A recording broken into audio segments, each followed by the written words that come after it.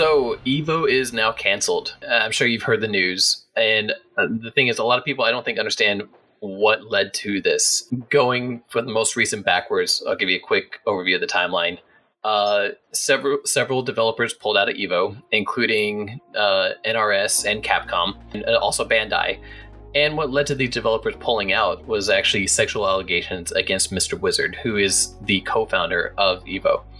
These allegations weren't just empty handed, they also were followed up by Mr. Wizard apologizing for his actions and completely removing his Twitter account. So there's quite a bit of scandal going on right now in the gaming community. And that's not the only thing either. There have been several sexual allegations against different competitors and different people involved in the fighting game community right now. This spans from Smash Brothers players to all sorts of different games. We'll also leave some links in the description for any of you who might be victims and don't know where to turn.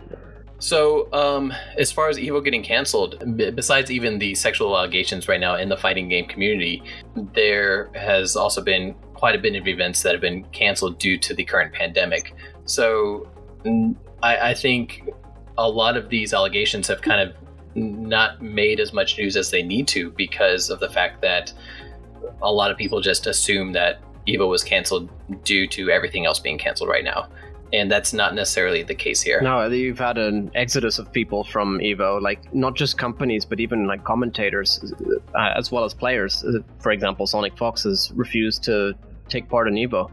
And in this situation, even with an apology, people are still walking away from Evo, and I, I, don't blame them. The fact that this sort of thing was possibly allowed this entire time doesn't exactly inspire confidence in the company itself or the event itself. Yeah, I mean, if you can't protect your participants, then nobody is going to want to show up to your events. That's kind of what it boils down to. Exactly.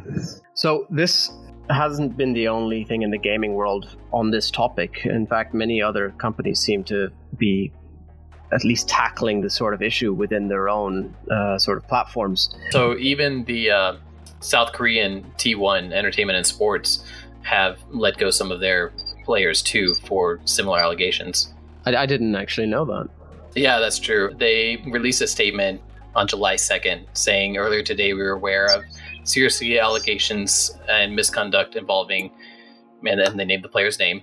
Uh, following a thir- thorough discussion of the matter with the player, we decided to terminate our relationship with him, effective immediately. It's it's it's a disgusting situation. It really is. But the positive that we can take from this is that this sort of stuff is being brought to light, and not just with it, like for Evo specifically, but at gaming companies as a whole.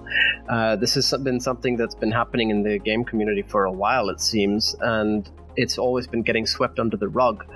So hopefully, this is the new era of accountability. I want this to be a permanent change. I want there to be constant accountability rather than hearing about people alleging that somebody has done something to them and usually the victims are going to be ignored completely and that's not okay. That that's something that should never have been okay.